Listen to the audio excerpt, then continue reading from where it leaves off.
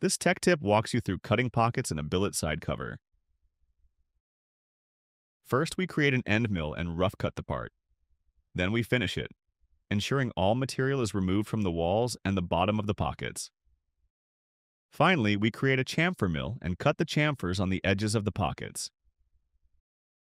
In this video, we'll take a closer look at the tool paths and run some cutting simulations. Let's take a look at the verification simulation for the rough cut. Click Preview operation next to this toolpath and select Verify to start running the simulation. The verification simulation runs through the toolpath and highlights the material removed. In this rough pass, we wanted to ignore the chamfers. The verification simulation helped us verify that behavior.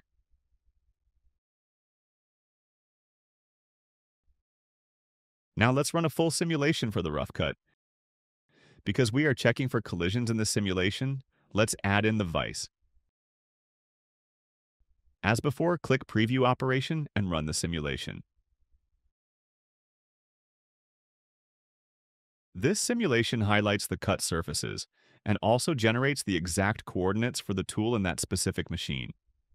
This allows the simulation to detect collisions and pause the simulation as needed. In this case, the simulation run completes without any collisions, indicating that this operation would be safe to perform and would not damage any part of the machine.